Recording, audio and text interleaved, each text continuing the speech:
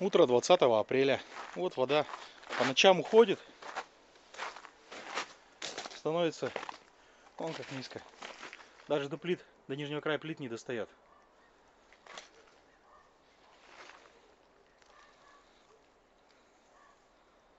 А днем поднимается так, что плиты полностью находятся в воде.